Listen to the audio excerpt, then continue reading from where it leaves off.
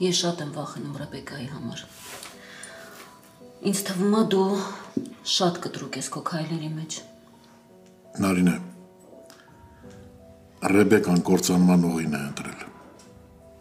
Վահեն են մարդը չի ում կողքին պիտի լինի իմ թորը։ Ճիշտ այնպես ինչպես հայկ են մարդը չեր ում կողքին ես կարող էի լինել, չէ՞։ Ոչ մի կերպ չես կարողանում ներել ինձ։ Ներելու ու չներելու հարց չկա։ Դու իմ հայրն ես ու այսքանով ամեն բան ասված է։ Մի համեմատիր ձեր պատմությունները։ Վահեն ու հայկը տարբեր մարդիկ են։ Բնականաբար նաև պատմություններն են տարբեր։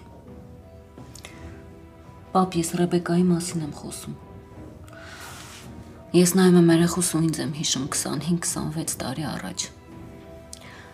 Ինքն էլ է տարապում։ Ու ամենավատն է նա, որ ինքն էլ է հասնում այն հոգեկան ծանր փուլին, ինչի միջով որ ես եմ անցել։ Ռեբեկան հիմա լուր է, չի խոսում, ննջարանից դուրս չի գալիս։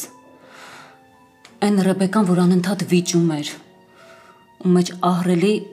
ագրեսիա կար կուտակված հիմա լուր է, պապ, ուղակի լուր է։ Ու